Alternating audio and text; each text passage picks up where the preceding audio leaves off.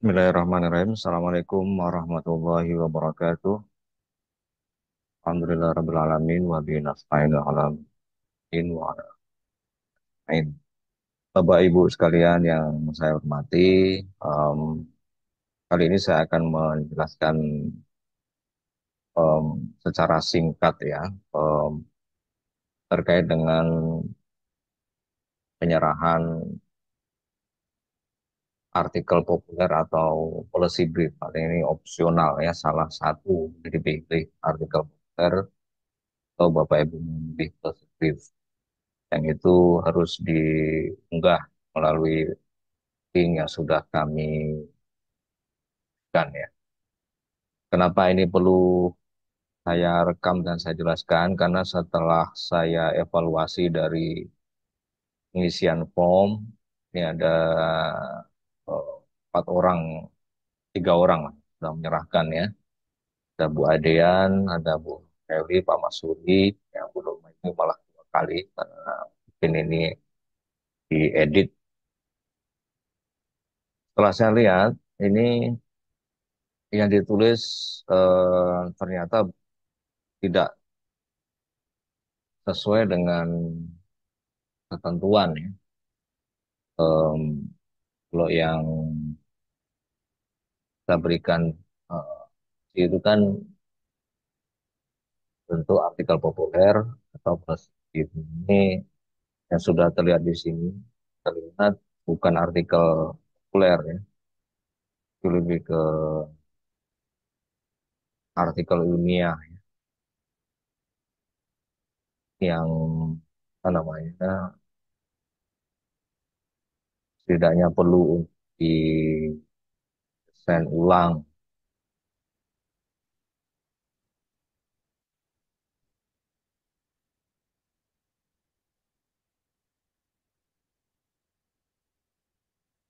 kita lihat formanya masih artikel ilmiah total ya. Di berdasarkan hal inilah maka saya melihat mungkin ini perlu diberikan pahaman secara khusus ya. Dan untuk mempersingkat maka eh, saya bikin penjelasan melalui rekaman video. Bapak Ibu sekalian, em, kenapa ini harus eh, memilih salah satu artikel populer atau policy brief ya sebagai bagian dari penyerahan output. Karena seperti saya jelaskan sebelumnya bahwa dari yang sudah diperiksa oleh em, Badan Pemeriksa Keuangan maupun Inspektorat ya, mulai dari perencanaan, proses pelaksanaan, evaluasi, kemudian output, kam, dan satu hal lagi yang ditanyakan itu adalah bagaimana ini dimanfaatkan oleh masyarakat. Nah, kalau artikel ilmiah itu kan konsumennya itu para akademisi. ya. Tapi kalau untuk masyarakat secara luas kan mereka tidak bisa jadi tidak mengaksesnya. gitu ya. Nah, untuk itulah maka eh, artikel populer ini, artikel yang lebih em, sederhana dari hasil penelitian, publikasi maupun pengabdian, em, itu menjadi salah fungsinya yang dikasih di media massa, eh, baik online maupun lain ya. Dan dalam hal ini tugas Puslit nantinya adalah men- mencoba menawarkan untuk dipublikasi di media-media massa eh, online. Nantinya tetap penulisnya eh, Bapak Ibu sekalian, tapi kami Puslit coba menjembatani sama komunikasi. Ya sekurang-kurangnya nanti dipublikasi di eh, web eh, Puslit ya sebagai bagian dari seminasi kepada masyarakat di PAS. Tapi kami upayakan untuk bisa dikasih di beragam media massa. Nah ini em, terkait dengan eh, kenapa ini penting ya? Termasuk salah satunya ini opsional adalah policy brief. Jadi nanti hasil dari em, penelitian, publikasi ilmiah maupun pengabdian yang ditulis dalam policy brief, policy briefnya itu akan kami sampaikan lembaga-lembaga yang memang terkait dengan fokus penelitian dari Bapak Ibu sekalian. Jadi bagian dari eh, tindak lanjut untuk bisa dimanfaatkan ya oleh eh, para pengambil kebijakan yang tentunya sekali lagi ada kaitannya dengan eh, fokus penelitian Ibu. Nah, Bapak Ibu sekalian, ini langsung saja ya. Saya sampaikan di sini. Ini eh, manual ini bisa di-download tunjuk ini ya, berarti ini bisa di, di-download di mobile kalian. Nah, untuk artikel populer ini sebagai opsi pertama ya. Eh, nanti contohnya bisa diunduh lewat link ini. Dan juga dokumen petunjuk ini juga bisa diunduh melalui link yang tertera.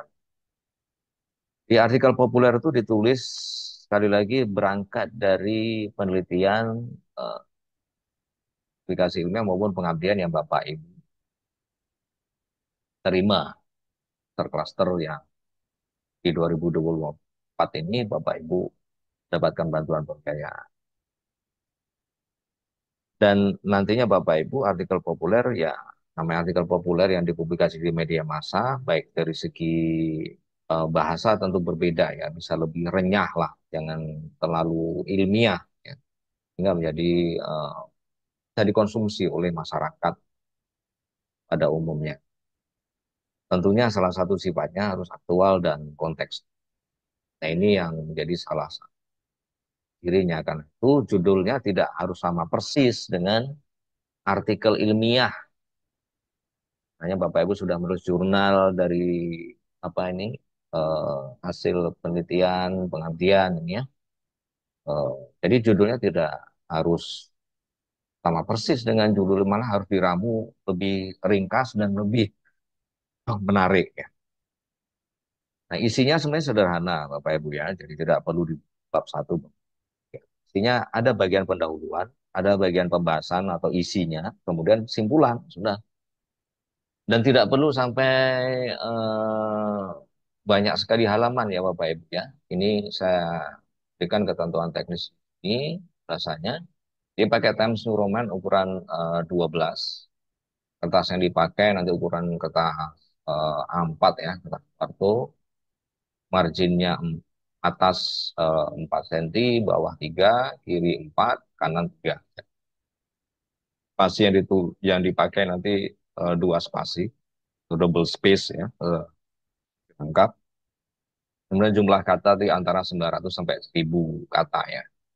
Nah, kalau di eh, totalkan jumlah halaman dengan margin seperti ini, kertas eh, A4, spasi rangkap, ya, eh, ya kira-kira eh, 5 sampai 6 halaman saja. Tidak, tidak perlu terlalu banyak ya.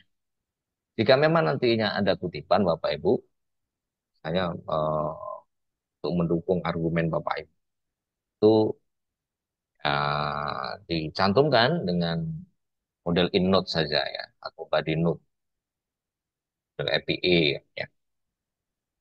Eh, dan tentunya nanti kami mohon art- isi artikelnya jangan lan kutipan ya, tapi lebih eh, bagaimana nanti eh, analisis dari apa namanya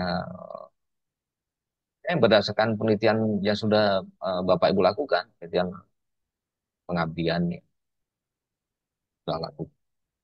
Jadi ini eh, contoh sederhananya, kebetulan ini eh, ada yang sudah menyerahkan tapi lewat WA ya, eh, nih eh, Bu eh, Yuni ya, prevalensi kasus pelecehan seksual pada anak di Aceh dan revisi kanun jinayah.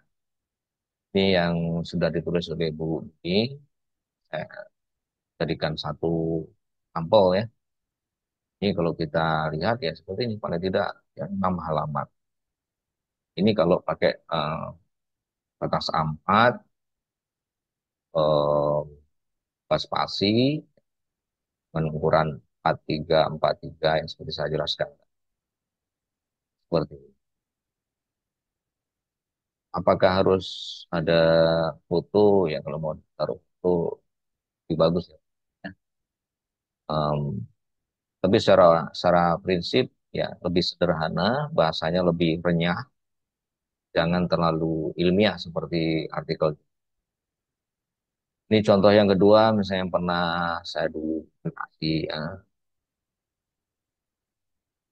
hanya ini tipannya ini.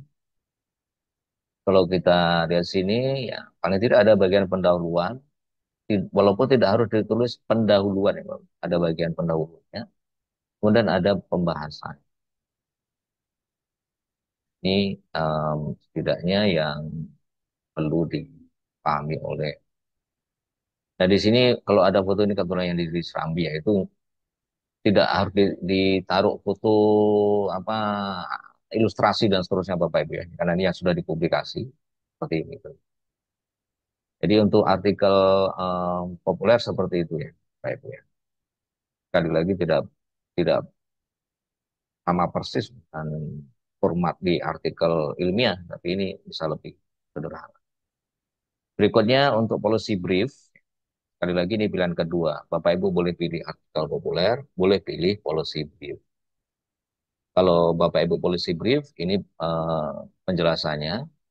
Setidaknya Bapak Ibu ya, di brief itu ya ada ringkasan eksekutif ya, maksudnya abstraknya ya. Abstrak kan sudah ada itu di apa namanya, laporan penelitian abdian Bapak Ibu ya.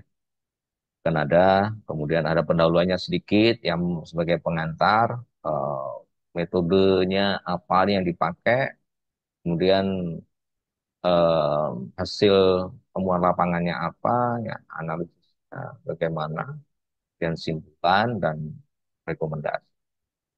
Sini em, apa ada penjelasan-penjelasan ringkas, Em, bagian apa yang ditulis kan eksekutif, apa yang ditulis di eh, bagian pendahuluan, apa yang ditulis di metode analisis eh, bagaimana kemudian sebenarnya apa rekomendasinya apa. Dan ini semua sudah ada di eh, penelitian ataupun pengabdian yang Bapak Ibu lakukan ya.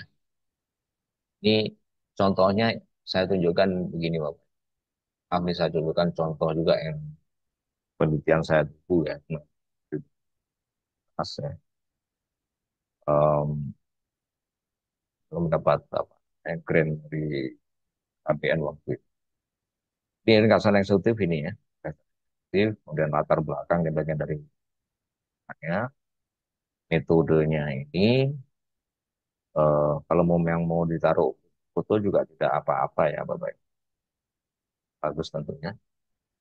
Kemudian eh, hasil penelitiannya apa dan usulan kebijakan atau rekomendasinya apa. Seperti ini Bapak Ibu. Ah, gitu. Jadi ini em, ini bukan yang terbaik ya, tetapi setidaknya formatnya seperti inilah Bapak Ibu ya.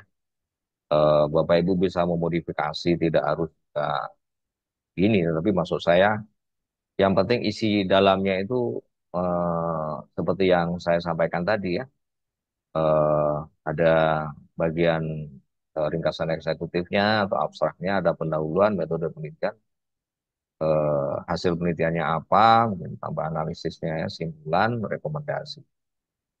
Oh misalnya eh, apa namanya mau pakai format yang lain ya silahkan, tetapi maksud saya setidaknya setidaknya itu ada unsur-unsur ini yang ada di dalam em, yang sebenarnya sudah ada dalam laporan penelitian, tinggal disederhanakan lagi karena ya samalah 6, 6 halaman, 6 8 halaman begitu ya.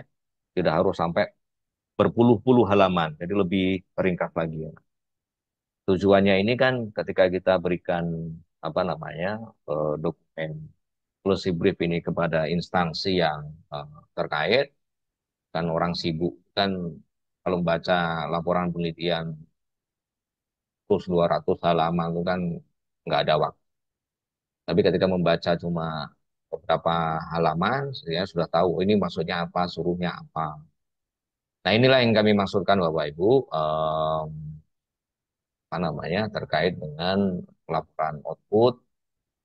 Eh, ini sekali lagi adalah bagian dari tindak lanjut eh, one, ya, yang pertanyaan besarnya bagaimana impact dari penelitian pengabdian itu di kalangan masyarakat umum, bagaimana ini bisa dimanfaatkan?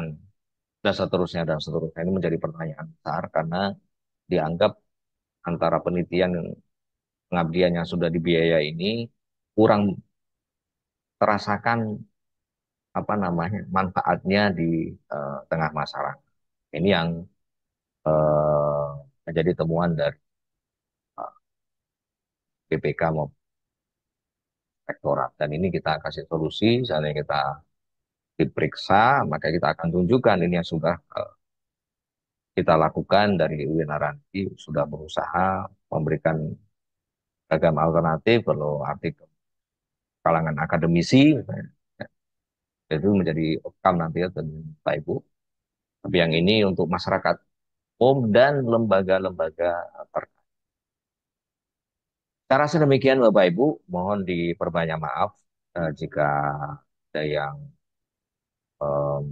kurang dari eh, penjelasan saya, tapi setidaknya ini saya mencoba kan eh, pemahaman agar waktu menyerahkan eh, mengisi form untuk penyerahan output itu tidak terjadi kesalahpahaman ya. Baik, demikian saja. Saya kiri, wabillahi taufiq wal hidayah. Assalamualaikum warahmatullahi wabarakatuh.